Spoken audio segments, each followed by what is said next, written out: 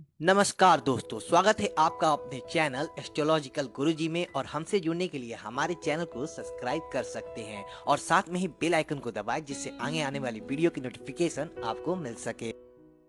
दोस्तों, सबसे पहले आप इस वीडियो को लाइक कर दीजिए क्योंकि बाद में आप लाइक करना भूल जाते हैं। तो प्लीज़ इस वीडियो को टक से लाइक कर दें और लाइक करने में आपका कुछ नहीं जाएगा तो प्लीज़ लाइक कर दें। तो चलिए शुरू करते हैं आज का वीडियो। चलिए जानते हैं, वृषभ राशि वालों के लिए जुलाई 2020 का मानसिक राशिफल। इस महीने आपके व्यक्तित्व में निखार आएगा। आप दूसरों को अपनी छवि से प्रभावित करेंगे। कला और मनोरंजन से जुड़े लोगों के लिए यह समय लाभदायक साबित होगा। कार्यस्थल पर भी आप अपने काम को एंजॉय करेंगे और सबके साथ प्यार से पेश आएँगे। आप सुखद वैवाहिक जीवन का आनंद लेंगे। शादीशुदा लोगों को जीवन साथी का सहयोग प्राप्त होगा।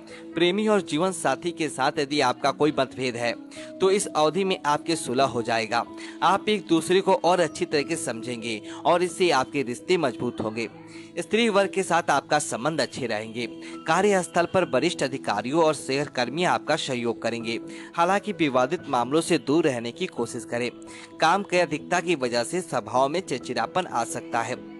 आपके पिता के साथ आपका कोई विवाद हो सकता है। इस अवधि में आप खुश मिजाज और आशावादी रहेंगे। वे लोग जो रक्षा प्रबंधन, सरकार और राजनीति जैसे कार्यों से जुड़े हुए हैं, उन्हें इस दौरान ज़्यादा अच्छे परिणाम मिलेंगे। आपकी वाणी अच्छी और अत्यंत प्रभावशाली हो जाएगी। अब अपने भाषण कला से सभी लोगों को आसानी से प्रभावित कर सकेंगे। परिजनों की उज्जत आपके सम्मान में वृद्धि होगी। मुसीबत की घड़ी में सभी आपसे मदद की उम्मीद करेंगे। वे विजय की बातों की अधिक चिंता ना करें। इस अवधि में आर्थिक लाभ होने की थोड़ी संभावना है। आपके संक्षेप धन में वृद्धि होगी। आपके घर परिवार में किसी नए मेहमान का जन्म भी हो सकता है। अच्छे स्वभाव के कारण आपके प्रति लोगों की सोच में बड़ा परिवर्तन आएगा।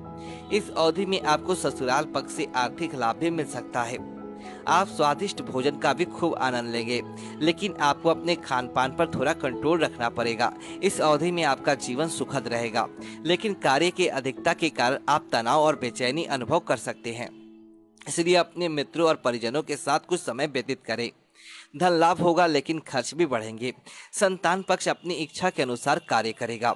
आप व्यवसाय में कुछ परिवर्तन करने का प्रयास करेंगे। आप कोई नई नई वस्तु खरीद सकते हैं। आपकी माताजी स्वास्थ्य संबंधी समस्याएँ से पीड़ित रह सकती हैं, इसलिए उनकी सेहत का विशेष ध्यान रखें। धन संबंधित मामलों में सावधानी बरतने की आवश्यकता होगा। धन कर्म के कार्य में आप अधिक रुचि दिखाई देंगे।